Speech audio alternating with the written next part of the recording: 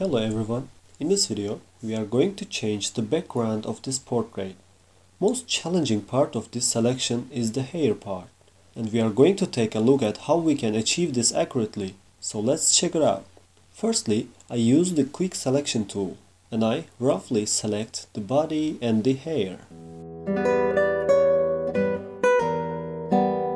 As you can see, we almost selected the entire hair but there are some small parts of the hair missing. So how can we select the thinner strands? To do that, I select the Refine Edge button up there. It automatically colors the background in black. Here you can also change it however you want. Red, white, etc. I prefer the black one because it shows better. Now I will select the entire small hairs.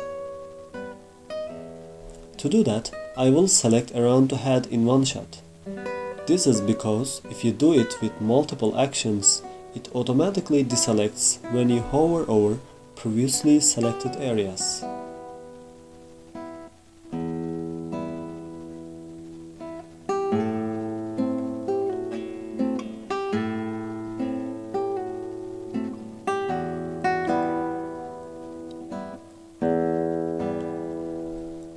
Okay, I finished my selection. I press the OK button.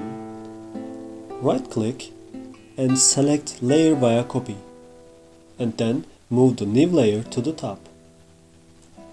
And I open the new backgrounds layer. There you go. You have it with perfectly selected hair.